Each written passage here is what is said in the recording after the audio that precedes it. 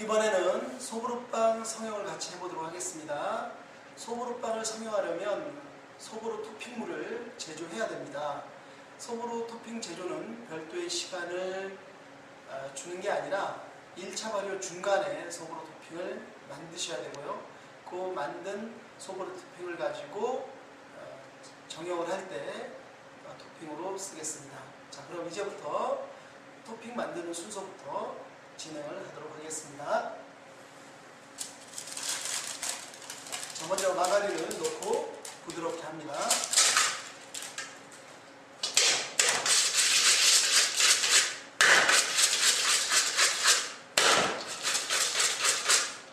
어, 거품기에 낀 마가린은 때려서 빼주시고요.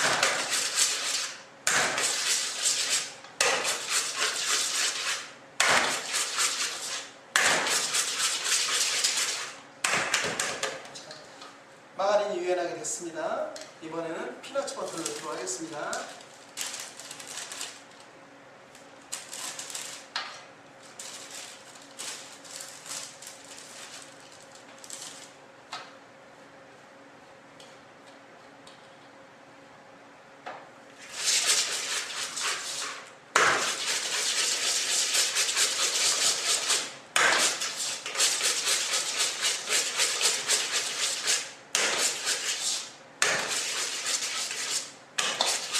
마가린과 아, 피너츠 버터가 균일하게 섞였습니다.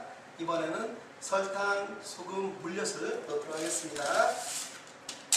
소금, 물엿과 설탕,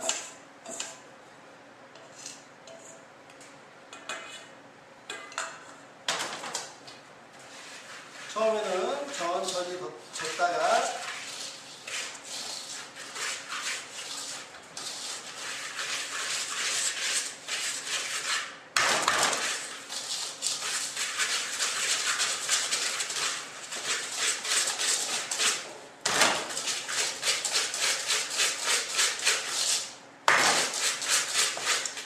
자, 이제 어느 정도 되면 세게 저어주십시오.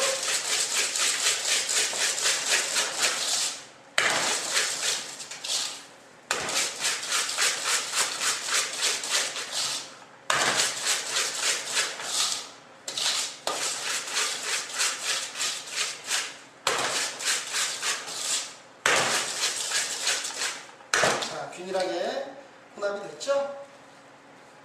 이번에는 계란을 넣도록 하겠습니다.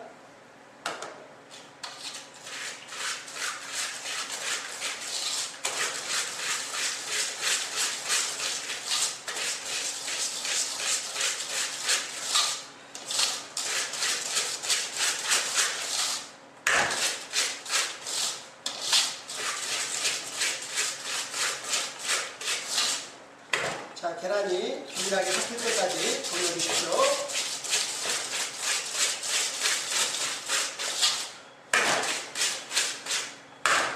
자, 네, 계란이 균일하게 섞였죠? 자, 이번에는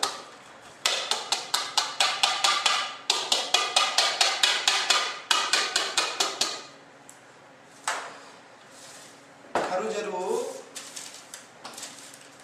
이렇게 모아주시고요. 이 가루재료들을 이제 균일하게 섞은 다음에 채를 쳐서 집어넣도록 하겠습니다. 그럼 이제 채를 쳐 보이도록 하겠습니다.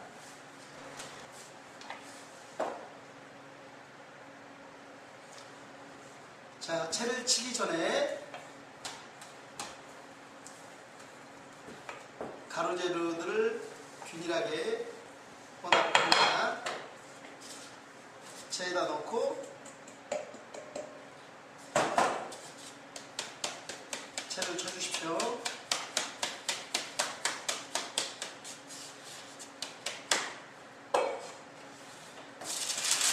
채친 가루재료를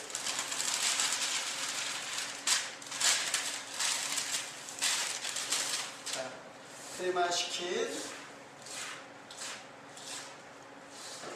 반죽에다가 집어넣고요.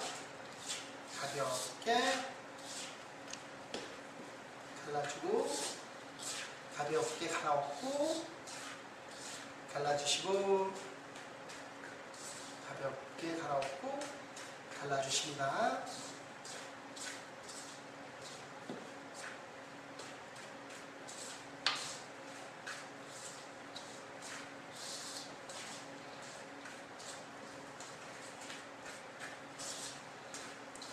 계절에 따라서 이 소보루의 대기가 달라질 수 있고요. 또 어, 거품을 일으킨 정도에 따라서 소보루의 대기가 달라질 수 있습니다. 겨울 같은 경우에는 거품을 많이 일으킨다든지 혹은 이제 중탕으로 유지를 좀 유연하게 하셔서 소보루를 만들면 좋고요. 여름 같은 경우에는 온도가 높기 때문에 많이 돌리면 겨울처럼 많이 돌리면 질어들 질 수가 있습니다. 자, 조심하시고요. 그리고 음, 만약에 소보루가 너무 질게 나오면 냉장고에 집어넣어서 굳혀주면 좋은데 시험장이라 아무래도 좀 냉장고에 집어넣기 예, 좀 상황이 좋지 않을 수 있으니 좀 거품을 너무 많이 일으키지 마시고요. 약간 든든하게 한 다음에 이렇게 되면은 내려놓고 손으로 비비면 손의 열에 의해서 질어집니다. 손의 열에 의해서 자, 비벼보겠습니다.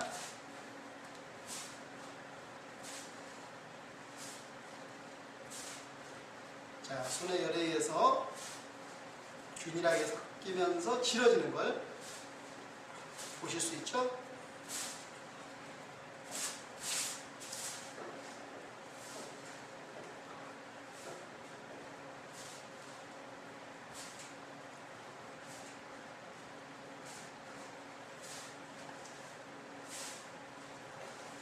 자, 이렇게 진 상태가 되면서 잘 묻혀질 수 있는 그런 소보루의 상태 되죠? 자, 이렇게 아주 적절한 상태가 됐습니다. 자, 이번에는요. 반죽을 재둥글리게 해서 12개를 가지런히 놓은 다음에 철판에 놓고 성형을 해보도록 하겠습니다. 자, 우선 먼저 재둥글리기. 가볍게 재둥글리기를 한다든지 혹은 음, 중간 발효를 많이 안 시켰으면 재둥글리기를 굳이 할 필요는 없어요. 어, 계절에 따라서 여름 같은 경우에는 잠시 놔둔다 할지라도 많이 부풀 수 있거든요. 이럴 때는 재둥글리기를 해서 소보루를 찍는 게 좋고요. 겨울 같은 경우에는 그 중간 발효가 많이 잘 안 되기 때문에 바로 소보루를 찍어도 좋습니다. 지금 저 같은 경우에는 지금 실습하는 곳이 좀 더워서 예, 제동물기를 했습니다. 자 이번에는요 계란물을 칠하겠습니다. 자 12개가 한 판이 기준이니까 12개를 계란물을 묻혀요. 자 그리고 찍도록 하겠습니다. 찍을 만큼의 소보루를 자기 앞으로 갖다 놓습니다. 그리고 반죽을 들어서 소보루 위를 강하게 눌러줍니다.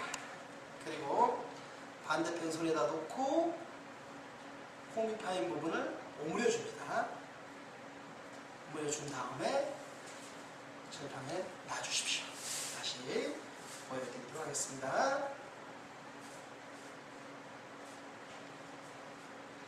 윗부분은 물 묻힌 윗부분을 소보루 위에 강하게 누르고 반대편에 옮긴 다음에 홈 부분을 오므려서 오므려 주세요. 오므려서 놓으시면 되겠습니다. 다시 강하게 누르시고 오므리시고 누르시고 강하게 누르고 오므리시고 누르시고 피고 강하게 누른 다음에 오므리시고 팬에 놓아주시면 됩니다. 자 이렇게 해서 패닝이 완료됐습니다. 놓으실 때 가지런히 놓도록 하고요. 지나치게 철판에 소보루가 떨어지지 않도록 주의해 주시기 바랍니다.